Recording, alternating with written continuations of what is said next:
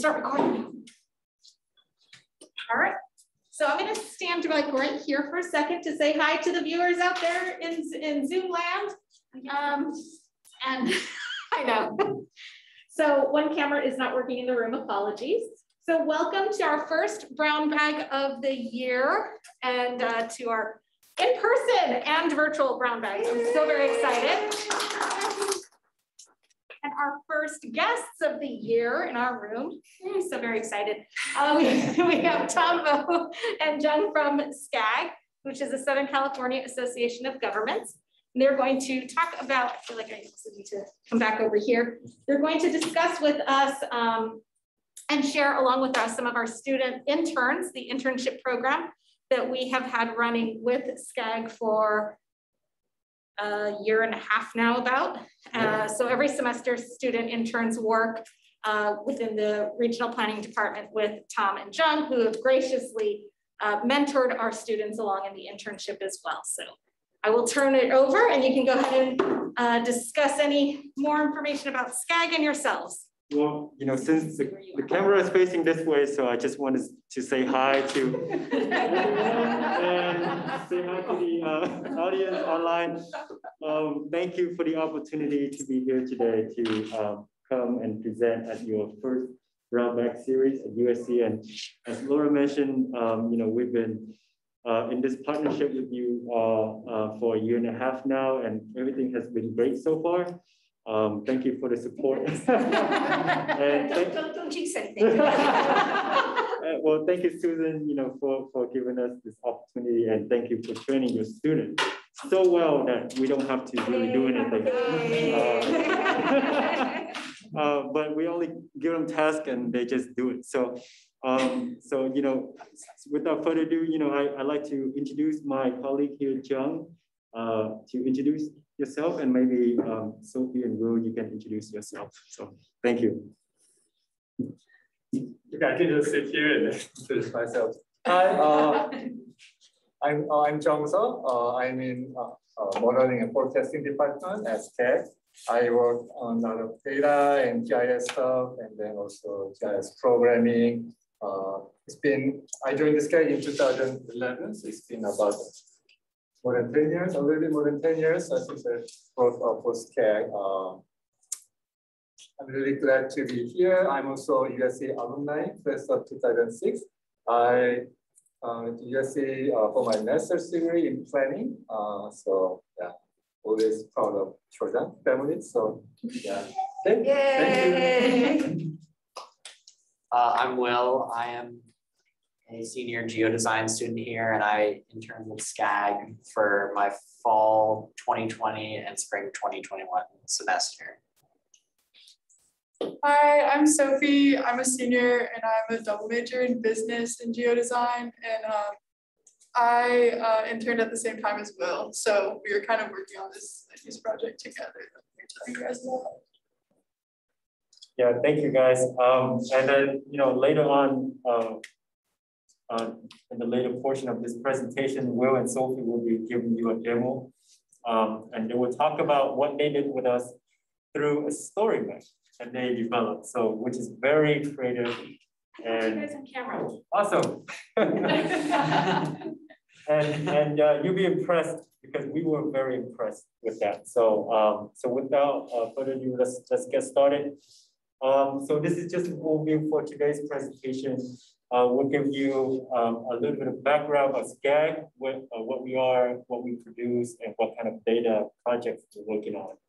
Um, and then we'll, we'll go into the uh, internship program, talk about you know when we started and how many projects we completed. And then finally, um, last but not least, you know, go to um, Sophie and Will. Uh, we'll, we'll talk about the regional land use data development uh, through the lens of story map. And then um, if if we have time, I would also like to cover um, some of our ongoing um, technological transformation project that we're working at SCAG or the SCAG Regional Data Platform and how um, it will transform the way in which um, local jurisdictions use technology for their local planning activities.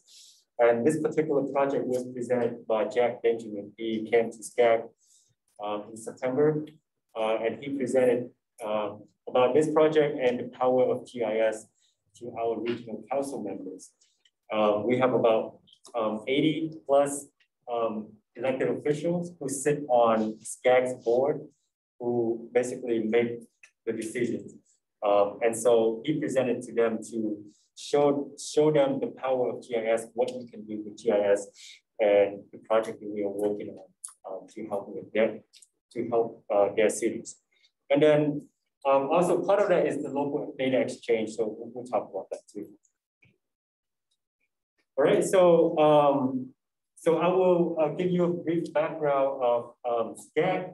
So what is SCAG? SCAG stands for um, Southern California Association of Governments. We are the nation's largest metropolitan planning organization in, um, the, in the country, uh, which consists of about 15 sub-regions. We have 38,000 square miles uh, in terms of the land size, and it's between the states of India. Um, we have 19 million residents. I think with the recent census, I think we are about uh, 20 million um, residents now, about 48% of the state population. Um, and then it's comparable to the state of New York uh, population. So there's a total of 197 local jurisdictions in the SCAG region, 191 cities, in, um, incorporated cities, and six counties. Um, as you can see there on the map, on the right, uh, highlighted in blue there, um, that's, uh, those are pretty much the six counties that we are um, serving um, in the region. And they are from the top, you know, you see Ventura, Los Angeles, Orange County, San Bernardino, Riverside, and Imperial.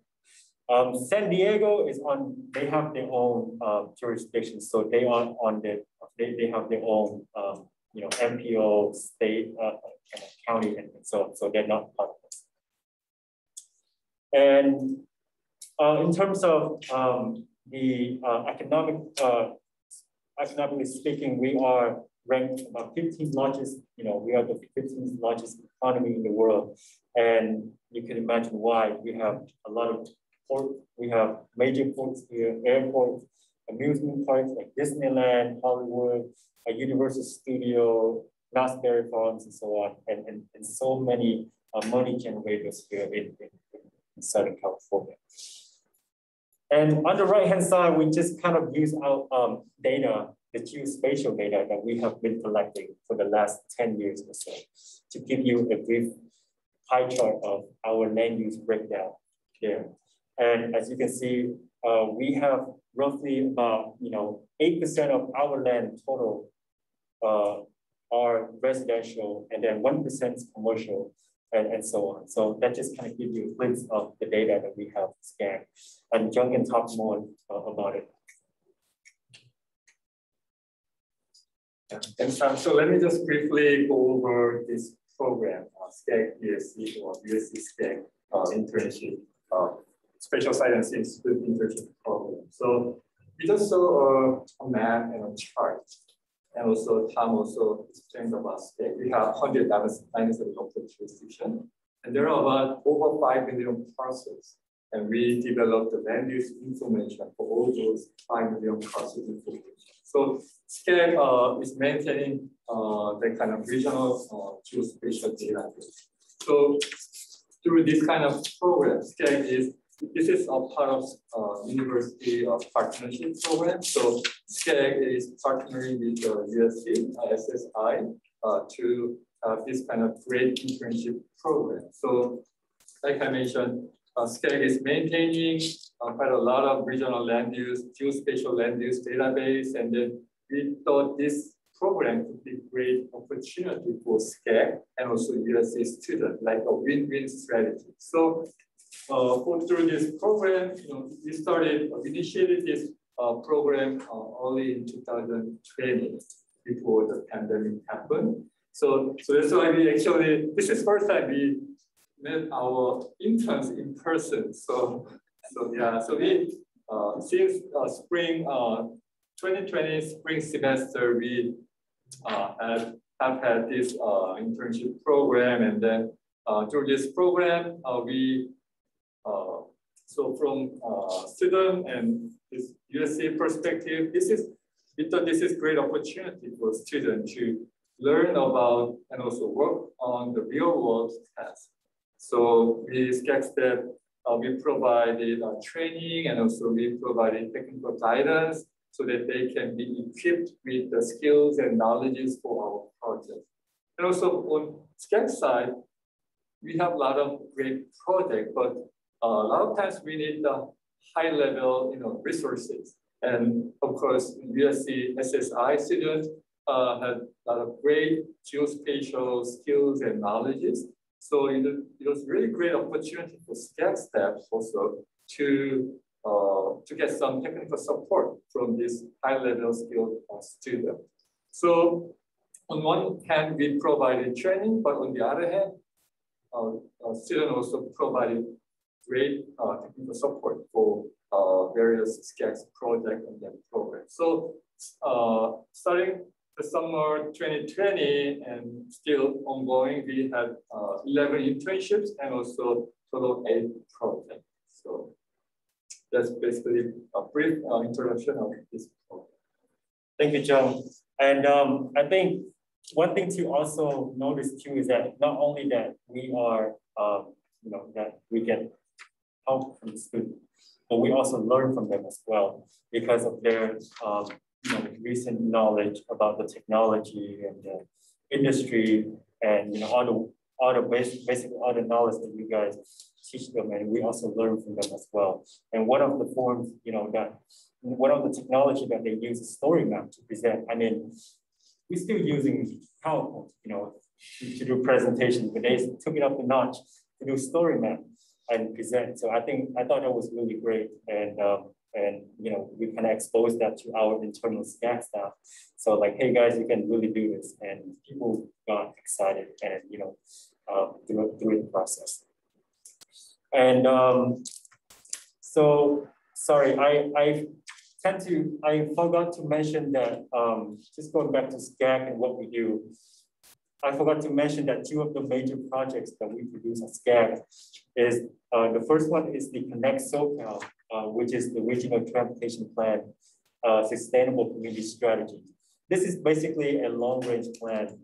Uh, we're looking at about 25 years in, uh, in advance in the future, uh, looking at the way we use transportation and the ways we use land use um, to make sure that you know these two components are used in the most efficient way that will help us to reduce greenhouse gas emissions, to promote uh, housing affordability, to promote air quality, uh, goods movement, safety, and so on. So that is one project that we, we work on, and we basically have to update this, update that project every four years. So um, the previous adopted Connect SoCal was um, 20, 2020. So we adopted uh, our last Connect SoCal in 2020. So right now, uh, Jung and I, we are preparing, uh, basically the whole department, we are preparing for the next uh, 2024 plan. So part of that, the reason why I'm, bringing this up is because it's directly related to the work that we are doing, which is the regional uh, uh, land use data that you guys have worked on. So that is the preliminary data set that we have to prepare. Uh, we look at different, different types of land use information uh, at the parcel level. So, you know, Jung mentioned that we have 5.1 plus million parcels in the regions. Each of those parcels, we have data included in them. We have attribute data. And each parcel, we have information like uh, existing land use. So what is currently uh, what was that land being used right now? How is that land going to be used in the future? So that's called the general plan. We also have zoning. We also have specific plan and, and all a lot of great information in there. So what are we going to use that data for? For that data, we use to forecast the future. So, so for example, if this particular land use will be used for residential in the future, then we can estimate the number of people who will be living there. Or if, if that particular parcel will be utilized for commercial, then we can estimate the number of jobs in the future. So that information, when once we have that information, we call it the forecasting data. Once we have that data, we integrate it into our transportation demand model. Because each person, each job, each job will generate a certain number of certain number of uh, vehicle travel. Um, so based on that, we calculate the number of trip generated by each household or each business uh, commercial centers. And based on that, we can calculate the number, uh, the greenhouse gas emission. Um, so that's how we kind of uh, understand the current and the future plan.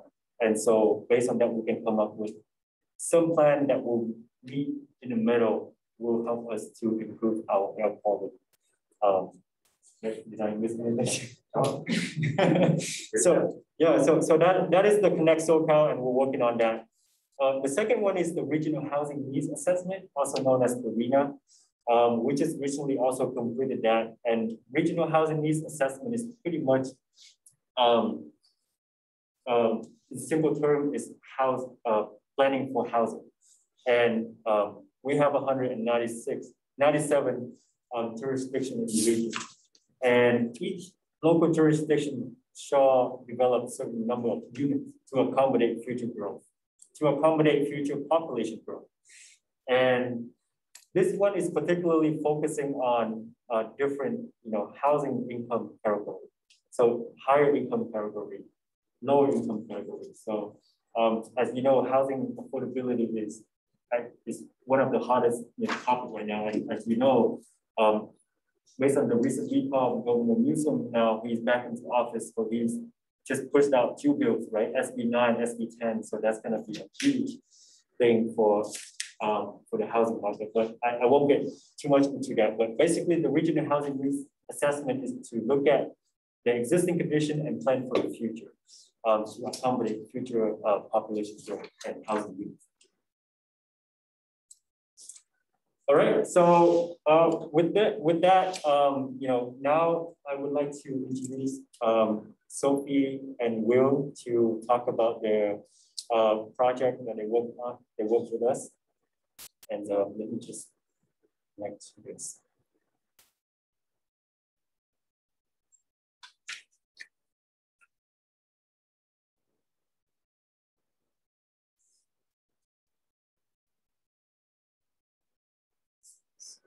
Share screen.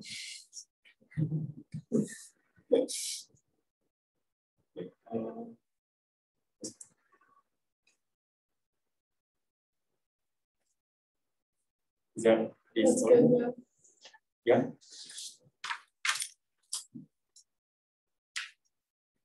Okay. So, and yeah.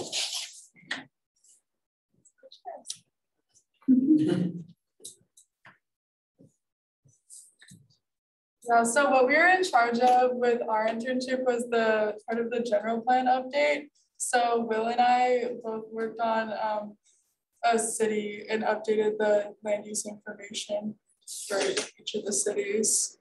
We made the story map. So yeah, here we started out with a little bit of uh, context about SCAG, um, a lot of the same stuff that uh, Tom and Jung just told us about, but I guess we can get a little bit more of an insight into the into the actual data sets that we're working with.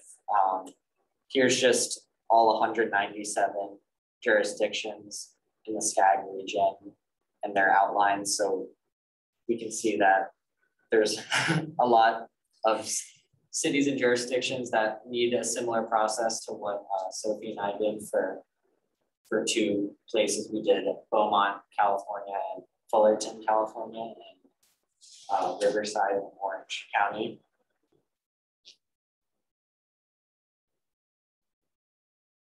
And then just some challenges that we encountered with our internship. So um, first of all, uh, we hadn't really had much like coding experience, even though we've done a lot in ArcGIS beforehand. So Will and I both had to um, just familiarize ourselves with ArcPy and Python scripting, which um, Jung and Tom helped us a lot with.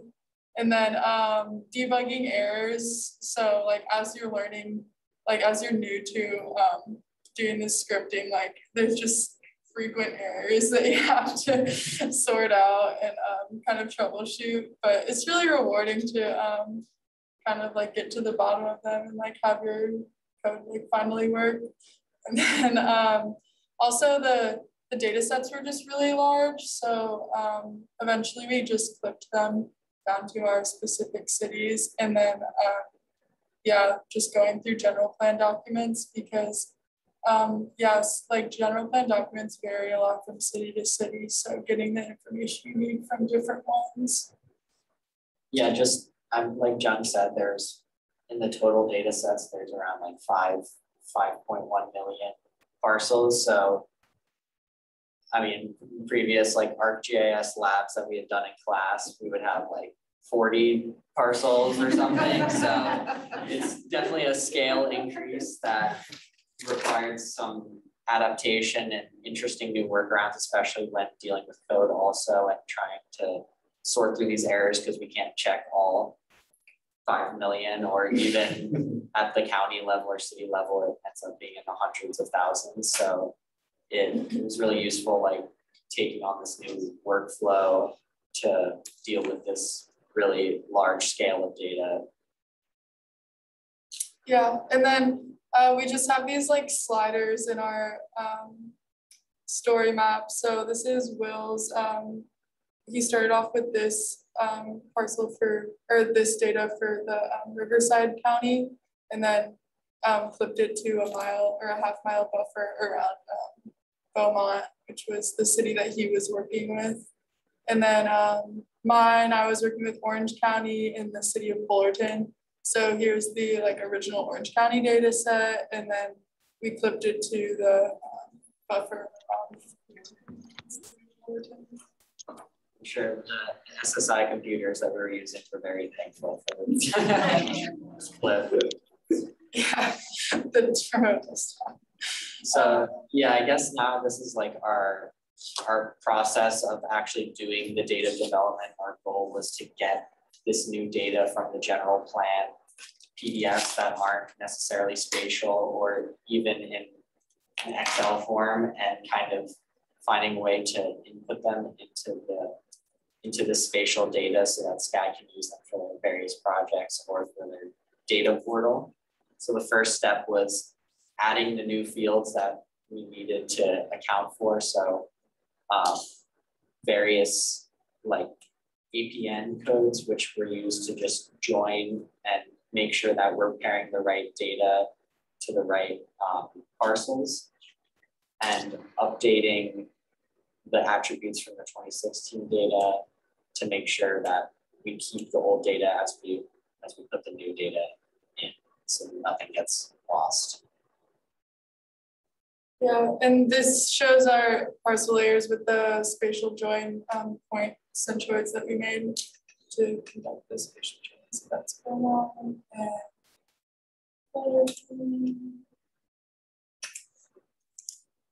and right here, we just have um, like a segment of my of my code um, for the initial part of the project.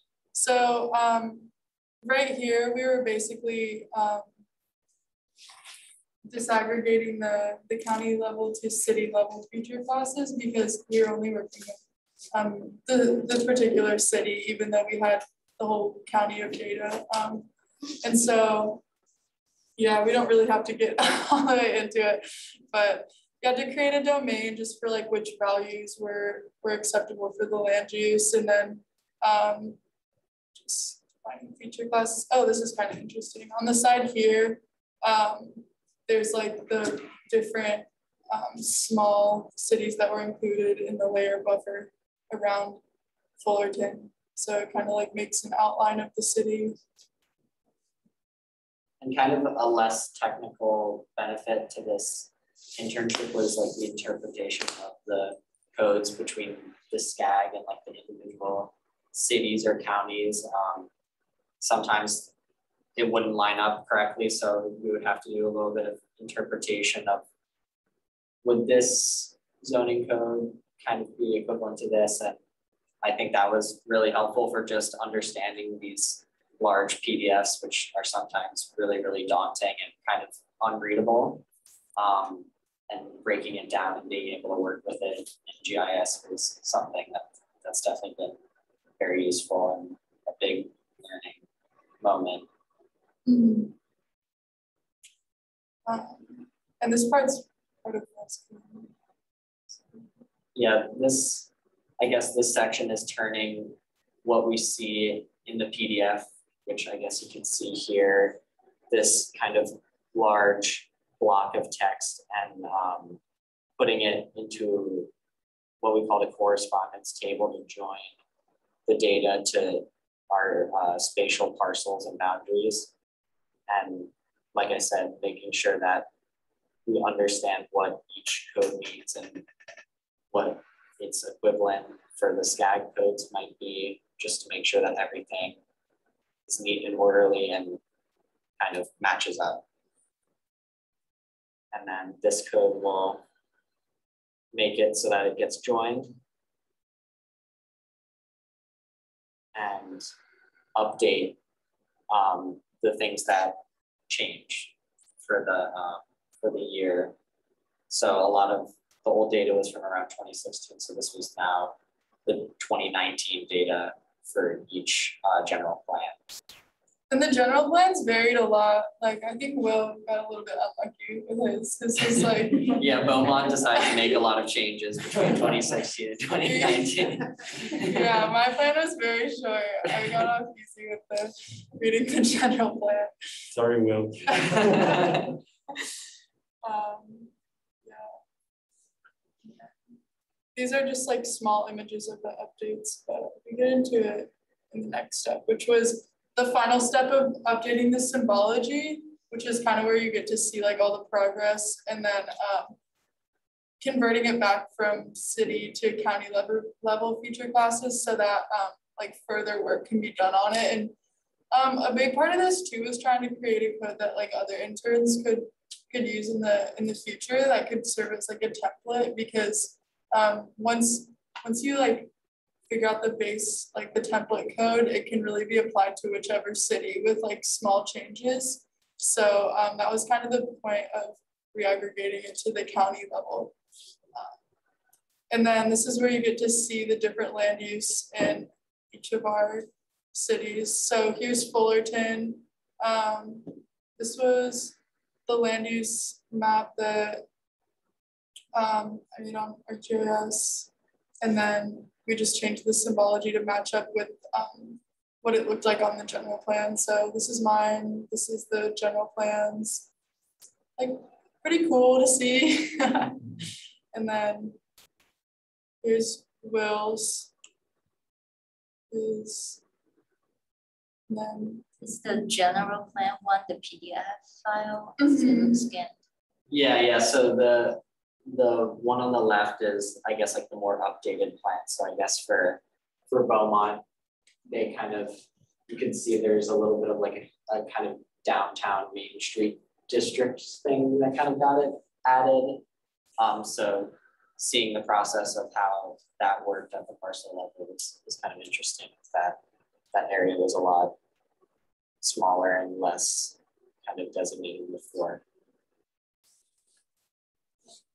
So yeah, was, I guess in all those, both a very technical thing with a lot of the ArcPy learning that has definitely stretched on to other classes and internships that I've done since, but also being able to work with the planning in a general code, general plan uh, documents hands-on and seeing what's actually happening and how it gets implemented and how it gets represented. Yeah, and also just like the power of coding because our projects that we've done in um, previous classes had just been on a very smaller scale.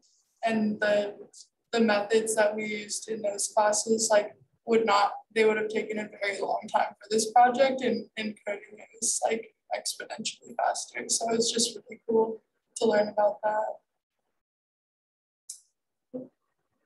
Thank, thank you again to Tom and Jung for all your help and like bearing with us and it, it was a, it was a great internship experience. Yeah, it was a great experience. Thanks, guys. Thank you, thank you. for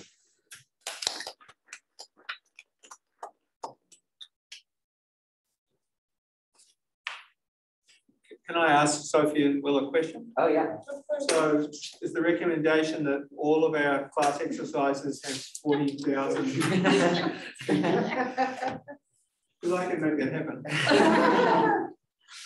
I would say it was just, I mean, when we were dealing with the very, very large data sets, it was, it was definitely, a- there was a element of frustration because like we would, we would input the, the code and it would either, it would just kind of freeze up and we couldn't tell if it was still working or if it was uh, like had frozen or something. And um, I guess learning to adapt to these, these big data sets was I guess one of the, the big takeaways, because for SCAG, they have to deal with five million data sets for every problem they do, so there's And gotta be a then- And then the second question is, since, you know, one of my bosses is sitting next to me, should we, should we cancel convocation?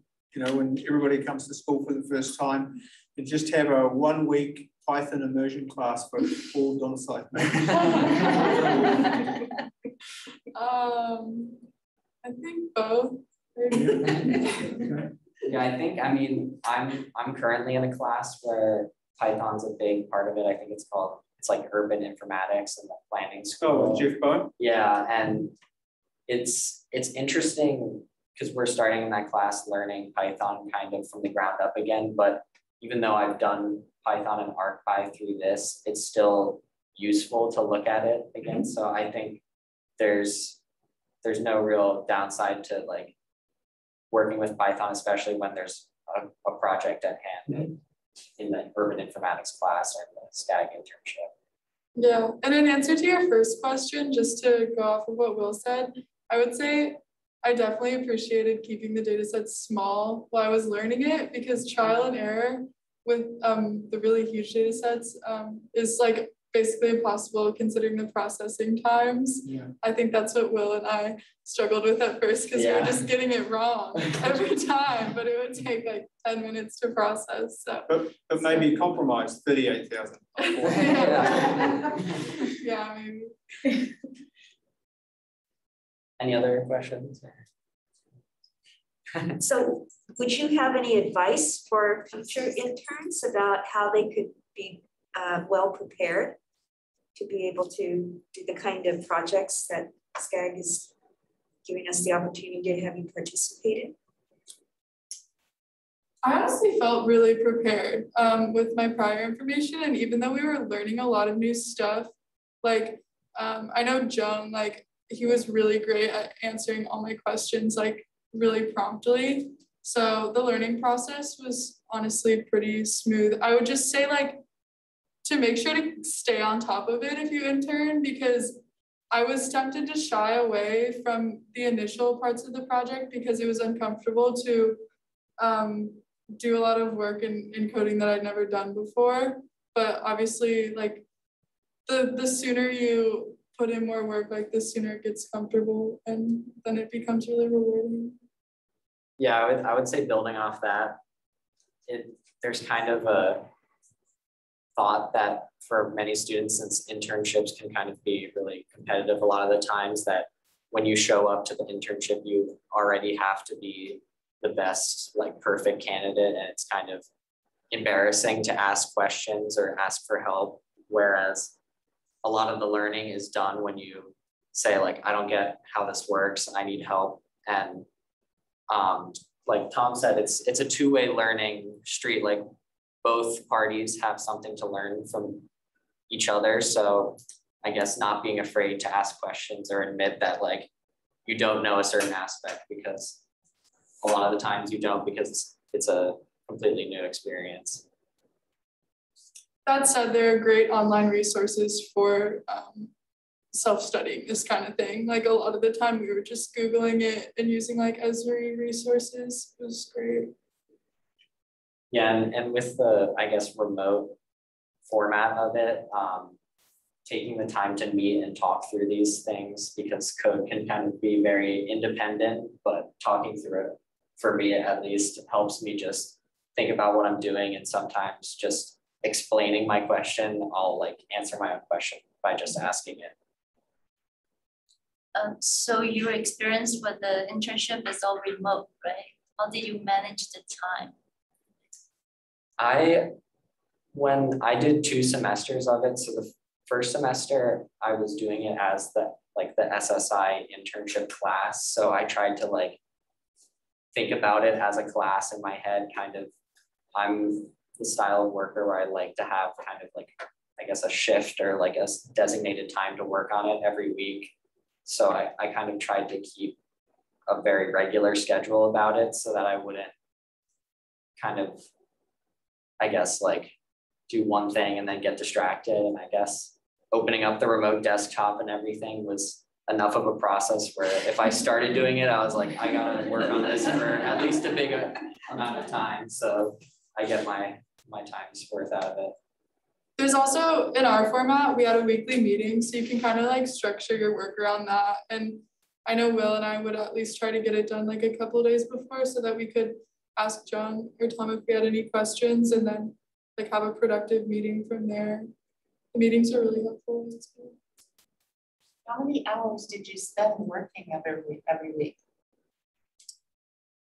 It's it's hard to say because I guess since there is no like kind of clock in and clock out, but I, I would say it would vary based on what um, I guess Jung had prepared like kind of a, a sample outline of certain mini tasks to get done to like complete the whole code. So some weeks definitely would take longer and required more extra meeting times with them or extra times when we had to talk about it. So kind of kind of variable. it definitely averaged out to around eight to ten hours a week, I would say. In the beginning, um, a lot of it was getting acquainted with like the different technologies we were using. So um, it was kind of like up to you whether you wanted to like do a lot of like instructional videos or like online courses or not. Um, in the beginning it was more flexible and then it started ramping up definitely. And towards the end we were really um, grinding on that, but it was good.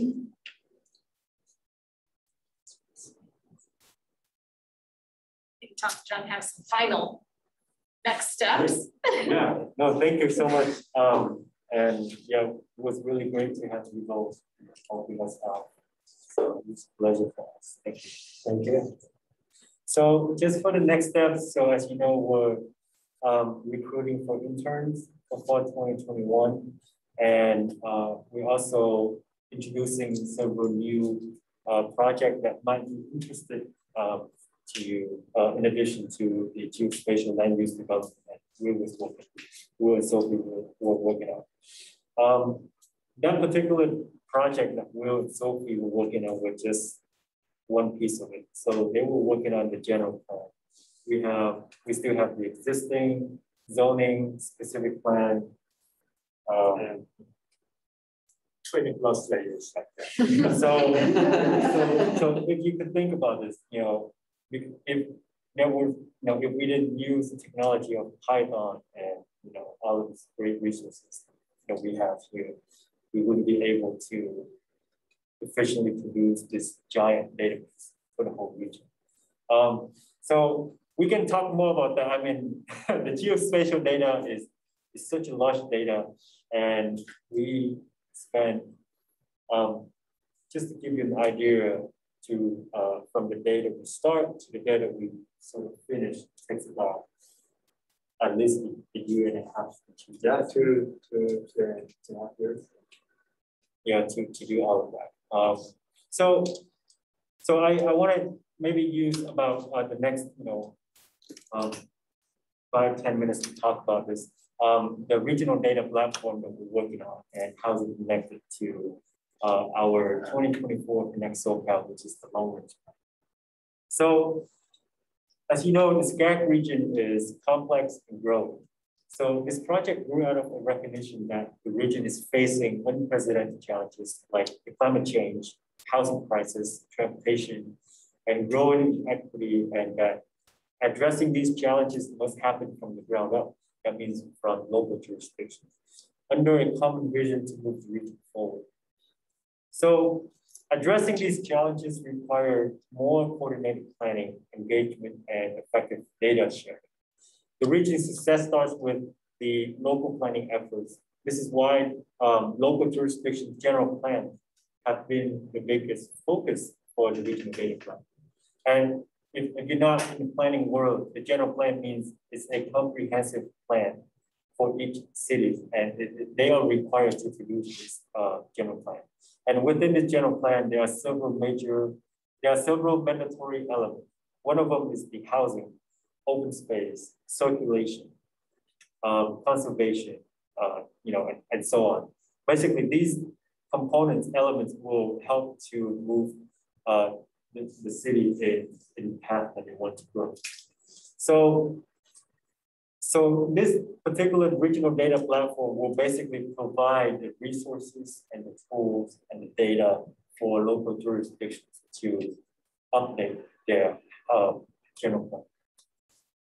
And as you can see here, um, there is a symbiotic relationship. So we have several challenges. So currently at the local level, um, they struggle to update their local general plan uh, because they, they have lack of data, tool, resources, support. Uh, at the regional level, consequently, if the city, uh, if cities and counties are not uh, updated, updating their, their long range plan, it means that we don't have the most up-to-date data. So it will basically um, you know, delay us in our regional planning process because we want the most updated data so we can accurately project the future. So in this regional data platform, um, also known as RDP, there are two major goals that we have uh, for this project. The first one is to facilitate stronger local planning by providing modern tools and best practices to assist with general plan updates. And the second goal is to streamline the process of collecting and integrating data from member agencies to SCAG to enhance regional planning and collaboration. So in this way, the RDP aims to support regionally aware local planning and locally informed regional planning to support more holistic and sustainable planning throughout the region. So now it's gonna get a little bit technical here, but I want I just want you to focus on these three colors, um, blue, orange, and green. So the blue is SCAG's new and evolving geospatial infrastructure. These are the foundational components that support SCAG and member agencies. Includes um, new regional hub and is powered by ArcGIS Online and the latest release of the ArcGIS Enterprise. In orange are planning tools and engagement tools for member agencies to use for local planning. And these include focus tools for specific workflows. Helper, uh, which is one of them. Helper stands for Housing Element, uh, Housing Element Parcel Tool, uh, Parcel uh, Helper. Is, is actually, this application was developed um, to help cities and counties to update their housing elements. Um, and out of the box tools like Business Analyst and ArcGIS Urban that are intended to help with a multitude of common planning and engagement workflow. And the last one is the green color, which is the data orchestration. And to me, this particular uh, component is the uh, core of this regional data platform, which focuses on the uh, data orchestration. And this particular component addresses one of the primary goals of the RDP to facilitate better data sharing between SCAG and member agencies. Um, and the process that uh, we have talked uh, about, we have been talking about is the local data exchange or the local input process, where Will and uh, Sophie basically did the manual work to collect that information. We want to automate that process for the whole region. So this particular um, platform will help uh, SCAG and local jurisdictions do so. Um, and um, this is just some of the tools that we are introducing to the region. Um, so as I mentioned, there are, there are several, there are three buckets here. Um, geospatial infrastructure, we have the regional information hub. So imagine if you are a stakeholder or a city staff, you can go on this regional hub and you can find all of the information uh, that we are releasing as SCAG. From the land use data to transportation data or open source um, or open space and other types of data set. You can find it there. Um, not only that, you can also log in if you are a city staff, you can log in and now it will give you additional benefits and additional tools that you can access. One of which is the ArcGIS Urban. Or you can also log in and, and open this, uh, open the application called local input web. And now you can click on that parcel and you can change the language on it. And, and once you do that, uh, and once you approve, that data will be flown back to SCAG. Before it goes back to SCAG, it's going to go through this um, uh, data quality QA QC thing to make sure that the data that's submitted by local jurisdictions uh, are good and accurate to make sure that you know they don't enter any uh, housing units under a commercial parcel, for example.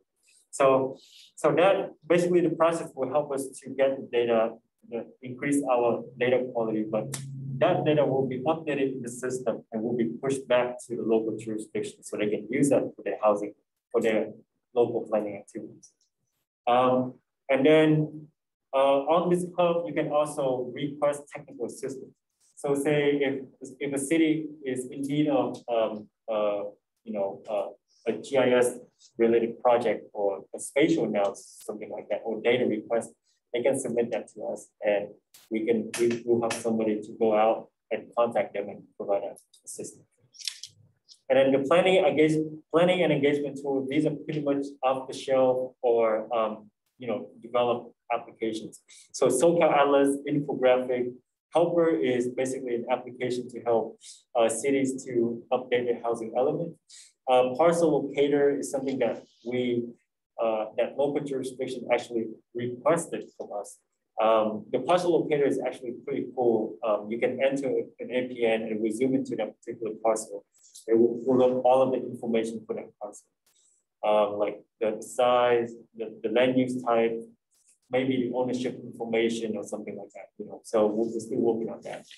And then general plan update site and general plan feedback survey. So these these two components are pretty much uh, pre-designed for them to quickly create a web page for their housing, for their general plan update uh, process, process. Because part of the process, they require to uh, conduct public hearing.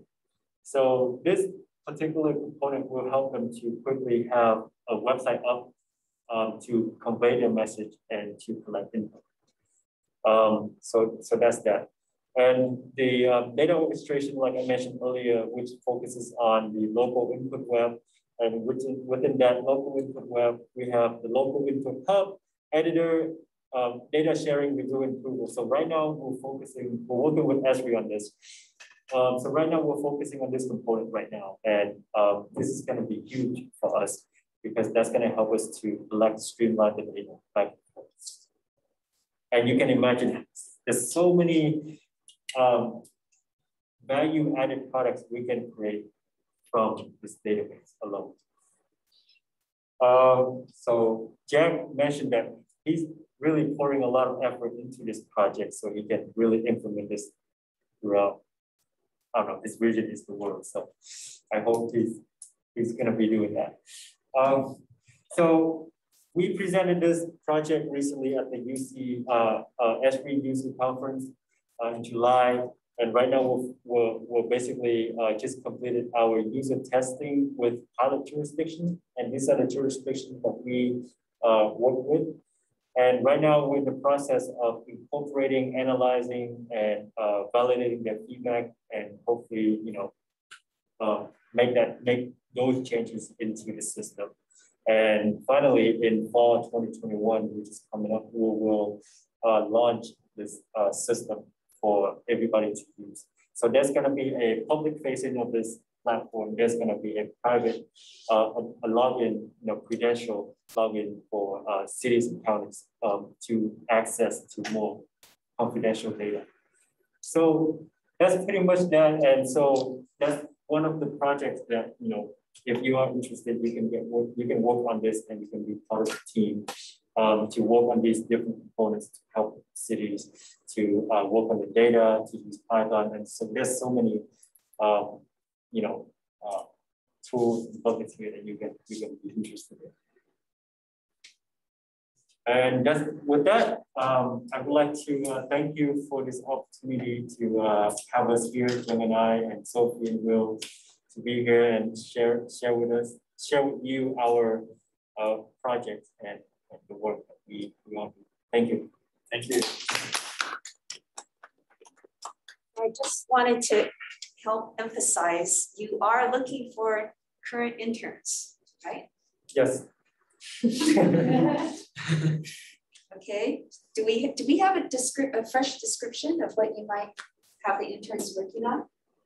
Uh, we lost Ken, so anything that went to Ken, well, we should probably regroup with you on. Yes, yes, we, Yeah, we will, okay. but basically, you know, it's gonna be ranging from data, uh, processing using Python, very detailed work, all the way to application development. So, um, we, you know, when we develop the scope of work with you, we, we always try to make it, you know, uh, as, um, uh, uh, a variety of different, you know, projects.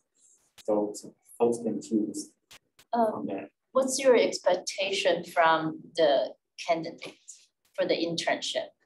What kind of students are you looking Well, willing to ask questions, like Will mentioned, you know, don't be shy, ask questions, but of course, you know, have some sort of knowledge about ArcGIS, ArcGIS Pro, or some data processing skill and so on. So, and I'm gonna, I'm, I'll, I'll also address that. So generally what we do with the internship course, internships that we have partnerships with, uh, like SCAG, uh, the scope of work is, is provided to us by the, the client, so the first case, Tom and John, and they'll add the, the new one, the new, uh, data possibility of working on this new project.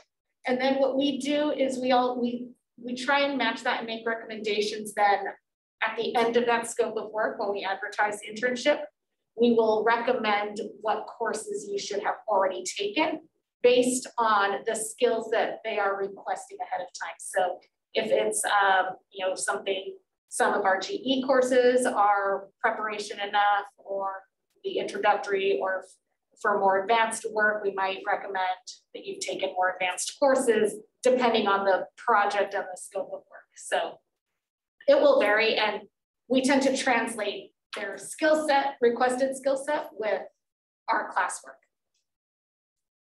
What I'm also hearing now is that because you have a range of projects or ways to participate in aspects of the project, that if someone has had, say, 301, but not had 383, there might be a project for you or some definition of a project that is accessible to you having had 301. If you've had 382 and are taking 383, then you might be able to do something that's more technically advanced because they would have had more programming under their belt. So, so I think if you're interested, and that includes the remote audience here, so if you're if you're interested, then uh, then share your resume, and we uh, let's see, should we send it to Deron? Okay. Send it to Deron, and between Dr. Loyola and Tom and Jung, then we'll be we'll, we'll be matchmakers. Yes. And, and we do a, a big call for spring as well. So if you're in the thick of fall already and you're just kind of like, um, I'd like to do this maybe next semester. Yep. Uh, we do a, uh, we'll do a large call again soon, soon-ish, actually for spring to get you ready and set up for spring internships if you would like. Yeah. All right, yeah, because the fall semester just started, right? Yeah, Well, we're actually decently into it now. That's Oh, My, my, my apologies, sorry, I haven't, I haven't been out of school for a while. You know, it's, it's all going, it's a blur, it's all going very. It's still summer weather out there, so you're like, we're still oh. in the summer. By fourteen. No, that's okay. Well, well, it- and you know, fall, fall, fall was kind of off to an unusual, I'll say unusual start. So, uh, but if you, you know, if you're settling in and you think you might have a little space to get your feet wet into something, then I think we could probably still work something out. So you do not have to take it for credit. Okay, um, although if you have room for and are interested in dorm size units, we do have an internship course. And that would be something that you might start in the spring, but the- you know, as you anticipate registration for the upcoming semester. But you do not need to do it for course credit. It is ju- it's a, it'd be an- it's an internship like any other internship. Okay, any, any questions? Anybody have any other thing? that All the students get the call. Yes, So the student, any student that is a part of spatial sciences majors or minors, or taking any of our classes really, because we send out a, a email notice to all of our students, but we also let our faculty know, so you're free to share it within your classes, because we have other students that aren't necessarily majors or minors, but are taking our classes, so uh, the faculty are welcome to share the internship announcements as well in the class. we distribute it widely on social media. And It is on our website. And also I I do do news, we- we- yeah. Send it out to You the can- yeah, far corners look of the world here. You can, you can look at SSI internships and I Yeah. think there's Yeah. information. There- There's, there's, there's a web page. I do news items, so, okay? I guess I have to call in cookies. So the value proposition for the students here is that, you know, you're all very good and capable, but, but at some moment in life, you're gonna have to distinguish yourself from everybody else. And you, and you need a one-liner. And so a one-liner from listening to today's presentation is, when they say, well, we're looking for somebody that's comfortable with big data. And, and your answer would be, well, Been there, done that. uh, I've only worked with data sets with five million features. That, that would likely be the game, the clincher. When I went for an academic job, my first job, the place I was interviewing at wanted somebody that was comfortable teaching big classes. And I said, well, I can do that. And then at the end of the interview, they asked, well, why do you keep saying you can do it? I said, well, the class I teach right now is five hundred. So what are you talking about? They were talking about hundred and twenty. I, I had an offer before I got home from the interview site go. right? So, so, you know, you, you all get hopefully fantastic experiences in classes. And there are other people from other institutions that they might likely interview as well. And so what you're looking for is what, what, what, what's the icing on the cake that I can do that will put me at the front of the class, the interview class. Right? I cut you off, sorry. Well, and, and actually I wanted, I want to introduce, we in addition to Tom and John being our VIPs, we have Dean Tammy Anderson, this is Associate Dean for Experiential Learning, and, and maybe she'd like to give a plug for experiential learning. Yeah, Well, I don't need to, you guys are doing it, you're doing it brilliantly, I'm so excited. Um, this is, this is what our students need, and just like uh, Professor Wilson was just saying, you know, setting yourself apart, and right now, USC has plenty of 4.0 students coming in here, right? They're brilliant. And uh, I'm an alum. When I was an undergrad, I probably would not have gotten this. I mean, these kids are just brilliant. Y'all are great. Um, so you need something that kind of sets you apart. And experiential just gives you so much opportunities to, to test out what you're learning in your, in your classes, to test yourself out, to, to see is this something that's a passion for you. We want you to, you know, do all of this work and be passionate about it. My father used to say, find a job you love and you'll never work a day in your life. So we want those kinds of experiences for all of you. So I'm just really thrilled, but I also wanted to thank you two because, you know, um, yes, it's a win-win, definitely. But it is a little bit of a, you know, challenge for all of you because you are working every day and then you have to be responsible for working with our students and we thank you for everything that you do for our students. So to that end, in fact, I think it was, maybe it was one of the very last lunches that we were able to have before the COVID shutdown. Yeah. And so it does take a lot of planning. uh, to be able to set, set these internships up. And something that we started within the Institute, um, and we haven't had very many opportunities to get to do this because it's supposed to be a presentation in person. Um, in, uh, in, in the military and in other organizations, there's something called a challenge coin. And it's, there's, there's a, there's a, I need where Steve Fleming went to, to, to actually explain this, right? But so there, there's, there's something about getting, you know, if you carry the challenge coin and you see them again, and if you don't have the coin on you, then they have to buy you a drink, you know, something like that. But, but, but I think the larger, the larger, the larger, I'll have Steve tell you this. So, the, so but the, the, the, the, the acknowledgement is that this, it, that we're a team and that, that having, be, having presented, been presented with a challenge coin we acknowledge you as part, a very important part of our team. And so uh, on behalf of the Spatial Sciences Institute, I think you guys are the, even Joseph Kerski from, from Esri. I think Joseph was our very first challenge coin recipient. So you are in the company of Joseph Kerski. Oh. so thank you very much because, oh, because um, because we couldn't do this without you. Thank and you so we, we appreciate the fact that we have a relationship that's going on over semesters. And it's just one that we are uh, hoping we can just keep on going. So thank you very much. Thank you, yeah, thank you so much. okay. All right. So I think we better let everybody go. Yep. Thank you again. Thank you all for joining virtually and in person. Thank you. The recording will be available